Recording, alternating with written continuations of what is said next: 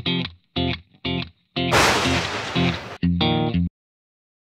guys, I'm Gagan. Welcome to video filming tutorial 1 in Hindi तो दोस्तों इससे पहले कि हम आगे बढ़े मैं आपको बताना चाहूँगा कि मैं टेप नॉर्थ सिडनी इंस्टीट्यूट में से क्वालिफाइड हूँ और फ़िल्म एंड टेलीविज़न में और हमारा एक रूटी हिल में एक छोटा सा स्टूडियो भी है जिसमें हम वीडियो फिल्मिंग और एडिटिंग का काम करते हैं। जिस कैमरे के बारे में मैं आज बात करूँगा, वो है Sony P M W E X one जो कि प्रोफेशनल कैमराज में से एक माना हुआ कैमरा है। और ये मेरा फेवरेट कैमरा है, क्योंकि मैंने अपने करियर की शुरुआत इसी कैमरे से की है। और इस कैमरे की खासियत ये है कि ये कैमरा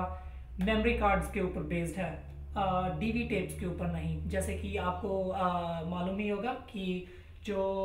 पहले समय में जो कैमरास यूज़ किए जाते थे, उनमें एक डीवी टेप लाइक एक कैसेट यूज़ की जाती थी, जो कि अब काफ़ी आउटडेटेड हो चुकी है और आजकल के जो मॉडर्न कैमराज हैं हैं जिसमें से एक है Sony P M W E X one जो कि मेमोरी कार्ड्स लेते हैं instead of D V tape जो कि एक बहुत ही बड़ी एडवांटेज है। वो इसलिए कि जो मेमोरी कार्ड्स हैं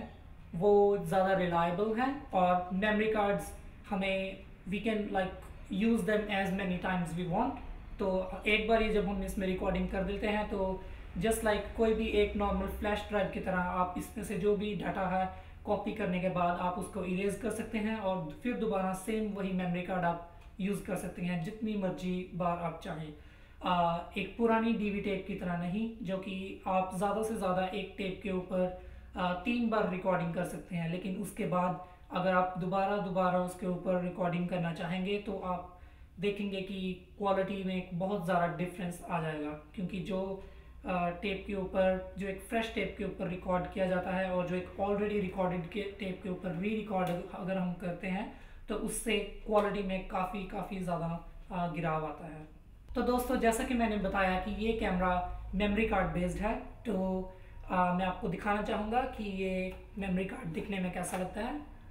ये वो मेमोरी कार्ड है जो इस कैमरे में डलता है और इसको सोनी ने नाम दिया है S by S memory card जो कि फ़िलहाल मार्केट में 8 गीगाबाइट से लेके 64 गीगाबाइट्स तक अवेलेबल है। तो दोस्तों मेमोरी कार्ड के अलावा इस कैमरे में वही फीचर्स हैं जो एक किसी भी प्रोफेशनल कैमरा में पाए जाते हैं। तो जैसा कि मैं आपको दिखाऊँगा आप देख ही सकते हैं कि इसके इस साइड पर जो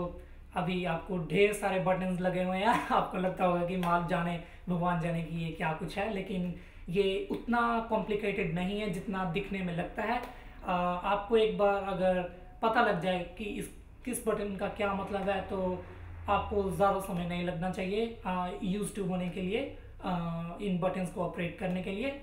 तो जैसा कि आप देख रहे हैं कि सबसे पहले मैं शुरू करूँगा फ्रॉम राइट टू लेफ़्ट तो सबसे पहले आप देख सकते हैं कि इसमें एक ये बटन है, जिसका नाम है वाइट बैलेंस वाइट बैलेंस का मेन मकसद ये है कि जो आपको आँखों से जो रोशनी नज़र आ रही है, जो आपको आँखों से जो कलर्स नज़र आ रहे हैं दिन में लाइक अगर आप धूप में, अगर आप बीच पर घूम रहे हैं तो ऑब्वियसली जो फेस पे जो लोगों के जो लाइट पड़ रही होगी, वो सनलाइट होगी और वो एक तरह जो लाइट है वो येलोइश लाइट जो है सबके फेसेस पे डल रही होगी। आसपास जो सराउंडिंग्स है उन पे भी एक येलो रिफ्लेक्शन होगी सनलाइट की। तो अगर आपका वाइट बैलेंस कैमरे का प्रॉपरली सेट नहीं है तो मे बी जो आप कैमरा में जो रिकॉर्डिंग करें वो आ, सब कुछ येलो दिखाने के बजाय सब कुछ ब्लू दिखाना शुरू कर दे। तो कि जो कि एक काफ़ी अनप्रोफेशनल लगेगा और अननेचुरल लगेगा। बिकॉज़ ऑब्वियसली जब कोई भी उसको वीडियो को देखेगा तो हर कोई हर किसी के दिमाग में ये ऑटोमेटिकली ये सवाल आ जाएगा कि कैसे हो सकता है कि सुबह के नौ बजे जब धूप थी तो बीच पे तो सारा कुछ आ, नीले रंग का कैसे हो गया? नीला एग्जैक्टली exactly नीला नहीं आ, नीला लाइक थोड़ा सा जैसे आप रिफ्लेक्शन बोल सकते हो नीली रिफ्लेक्शन फेस पे instead of yellow reflection from the sunlight तो वाइट बैलेंस अगर आप कैमरा करोगे प्रॉपर तो उससे आपको बिल्कुल बिल्कुल एक्यूरेट जो है कलर टेम्परेचर मिलेगा। कलर टेम्परेचर यानी आपको बिल्कुल एक्यूरेट लाइटिंग जो आप अपनी आँखों से देख सकते हैं वही आपको सेम लाइटिंग जो है कैमरा रिकॉर्ड करेगा। दोस्तों ये सभी फीचर्स जो यहाँ पे मौजूद हैं इनके बारे में मैं डिटेल में अपने नेक्स्ट ट्यूटोरियल्स में बात करूँगा। लेकिन फ़िलहाल इस ट्यूटोरियल में मैं आपको जस्ट ये दिखाना चाहता हूँ कि ये जो बटन लगे हुए हैं इन बटन का हर एक बटन का आ, मतलब क्या है। तो वाइट बैलेंस के बाद अगर आप देख सकते हैं यहाँ पर तो इस बटन का नाम है गेन गेन कंट्रोल तो गेन का बेसिकली मतलब ये है कि जो गेन है वो कैमरा में आर्टिफिशियल लाइट प्रोड्यूस करता है। उसका अभी आपको मे बी इसका एग्जैक्टली exactly आप आ, समझ ना पा रहे हो कि इसका क्या मतलब है आर्टिफिशियल लाइट प्रोड्यूस करने का। लेकिन आ, किसी किसी सिचुएशन पे ऐसा हो सकता है कि आपको कैमरे को एडिक्वेट लाइट ना मिल पाए जैसे कि एक डार्क रूम के अंदर जहाँ पे आ, मुश्किल हो सकता है कि उसके अंदर जो जो लोग बैठे हैं कि उनके चेहरे आपको क्लियरली दिखाना मुश्किल हो सकता है। तो गेन कंट्रोल के थ्रू आप कैमरा में आर्टिफिशली जो है थोड़ी लाइट प्रोड्यूस कर सकते हो जिससे कि आपको कुछ हद तक आ, लोगों के चेहरे साफ़ दिखाने में मदद मिलेगी। गेन कंट्रोल के बाद एक जो नेक्स्ट इसमें ऑप्शन है वो है neutral density filter neutral density filter हमें अपनी जो बैकग्राउंड को डीफोकस करने में हेल्प करता है और साथ ही साथ अगर कैमरा के लेंस पे बहुत ज़्यादा किसी चीज़ की रिफ्लेक्शन पड़ रही हो फॉर एग्ज़ाम्पल अगर आप काफ़ी सनी डे पे बीच पर शूट कर रहे हों और आ, पानी के थ्रू जो है सनलाइट की रिफ्लेक्शन अगर आपके कैमरा पर काफ़ी ज़्यादा डल रही हो तो आप न्यूट्रल डेंसिटी ऑन करके उसको काफ़ी हद तक कंट्रोल कर सकते हैं। न्यूट्रल डेंसिटी के बाद अगर हम और आगे बढ़ें तो यहाँ पर है आयरिस दोस्तों ये जो है फीचर इस कैमरा में सिर्फ़ इस कैमरा में नहीं आ, हर प्रोफेशनल कैमरा में बहुत ज़्यादा मायने रखता है। ये सबसे ज़्यादा इंपॉर्टेंट बटन है आ, एक प्रोफेशनल कैमरा का। और सबसे ज़्यादा इंपॉर्टेंट ऑप्शन जिसको आपको बहुत ही केयरफुली और ध्यान में रख के चलना पड़ेगा। जो कि है, मैं फिर दोहराऊँगा, iris I R I S और दोस्तों ये काफ़ी लोग इस बात में कंफ्यूज होते हैं कि जो आयरिस है और एक्सपोजर है और एपिचर है, ये तीनों अलग अलग चीज़ें हैं। लेकिन ये अलग चीज़ें नहीं हैं, ये जस्ट अलग अलग नाम दिए गए हैं, लेकिन इन तीनों का मतलब बिल्कुल सेम है। मैं दोहराऊँगा, जो कि है आयरिस एपेचर और एक्सपोजर ये, इसका मतलब ये है, ये बेसिकली जो है, अगर आप इसको मैनुअल पे करते हो तो अगर आप इस साइड पे जो कैमरा के रिंग है, आप आप इसको मैनुअली ऑपरेट कर सकते हो। और इससे होगा क्या कि आप जो है कैमरा को, के सेंसर को कितनी लाइट प्रोवाइड करनी है, उसको आप कंट्रोल कर सकते हो फुली कंट्रोल कर सकते हो कि बाहर से जितनी भी लाइट कैमरा के सेंसर पर डल रही है, अगर आपको लगे कि जो फेसेस हैं बहुत ज़्यादा ब्राइट नज़र आ रहे हैं तो आप इसको थोड़ा सा ट्विस्ट कर सकते हो और उसकी लाइटिंग को कंट्रोल कर सकते हो। क्योंकि अगर वो बहुत ज़्यादा ओवर एक्सपोज होंगे फेसेस तो वो दिखने में बहुत अनप्रोफेशनल लगेगा। आयरिस के बाद उसके नीचे जो अपना नेक्स्ट फीचर है, वो है मैक्रो तो दोस्तों मैक्रो किसके लिए यूज़ होता है? मैक्रो आपने नोटिस किया होगा, आपके एक जो छोटे छोटे D D S R cameras होते हैं, उसके बीच में भी एक मैक्रो का बटन का फीचर होता है, जिसमें से आपका, आप में से काफ़ियों को मालूम भी होगा और हो सकता है आपको ना भी पता हो। लेकिन मैक्रो बेसिकली यूज़ किया जाता है कि अगर आपको कोई सब्जेक्ट किसी सब्जेक्ट को आपको बहुत ही ज़्यादा क्लोज डिस्टेंस से शूट करना हो लाइक फॉर एग्ज़ाम्पल अगर आपको आ, जो नॉर्मली जो क्या होता है अगर आप आ, किसी चीज़ के एकदम पास में कैमरे को लेकर जाते हैं तो वो जो सामने वो जो ऑब्जेक्ट है वो ब्लर हो जाता है डीफोकस हो जाता है क्योंकि हर कैमरे का एक मिनिमम ऑब्जेक्ट डिस्टेंस होता है एम जिसको हम एम ओ डी कहते हैं। तो अगर वो मिनिमम ऑब्जेक्ट डिस्टेंस जो है उससे अगर वो कम हो जाए तो वो जो आपका ऑब्जेक्ट है, वो स्लोली स्लोली डी फोकस होना शुरू हो जाएगा।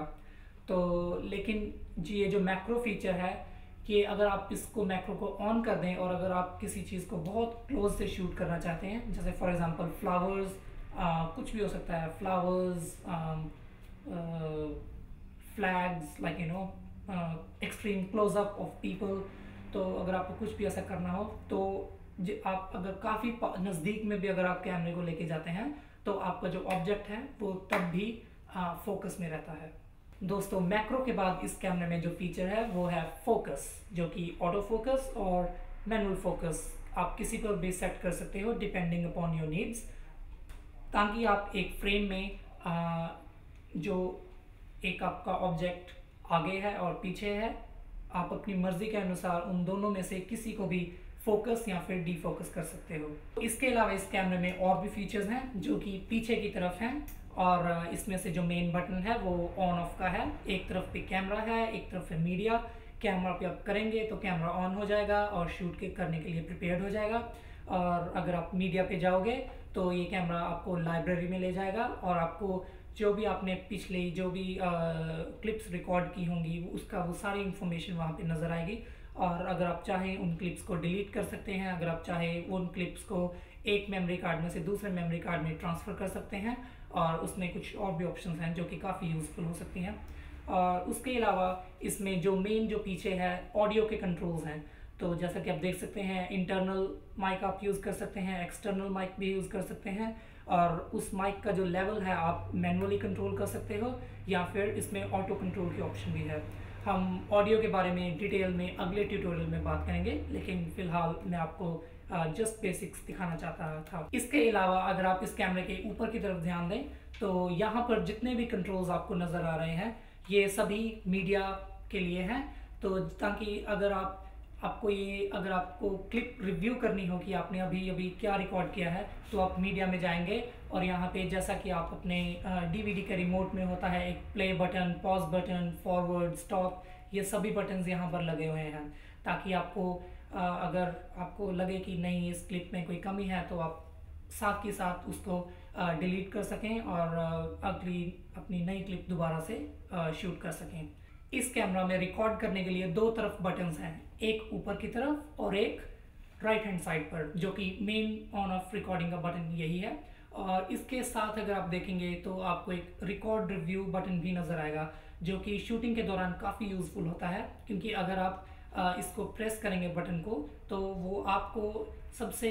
अपनी जो लास्ट आपने क्लिप जो रिकॉर्ड की होगी, उसका तीन सेकंड्स का क्विकली आपको रिव्यू दिखा देगा कि आपने क्या रिकॉर्ड किया है। ये क्या काफ़ी हेल्पफुल रहता है कैमरामैन के लिए, अगर आपने मेक श्योर sure करना हो कि आपने ऑडियो प्रॉपरली कैप्चर की है, या फिर अगर आपने मेक श्योर sure करना हो कि सब कुछ फ्रेम में है तो आप रिकॉर्ड रिव्यू दबा के वो सभी चीज़ें चेक कर सकते हो। अगर उसमें, अगर कोई कमी पेशी है तो आप फिर दोबारा से रिकॉर्ड कर सकते हो। तो उसके अलावा रिकॉर्ड रिव्यू के, इसके साथ में जो एक और बटन है, वो है एक्सपेंडेड फोकस जो कि एक तरह से जो भी आपको एक फ्रेम में नज़र आ रहा है, उसको टाइम्स टू कर देता है। यानी कि वो जूम इन हो जाता है ताकि अगर आपको कोई, अगर आप मैक्सिमम अगर आपने जूम इन भी अपना कैमरा किया हुआ है स्टिल जो जो आपको जो मेन सब्जेक्ट है, जो आप उस कैमरे में कैप्चर करना चाह रहे हो, वो स्टिल बहुत दूर के डिस्टेंस पे है। तो अगर आप एक्सपेंडेड फोकस करेंगे तो वो कैमरा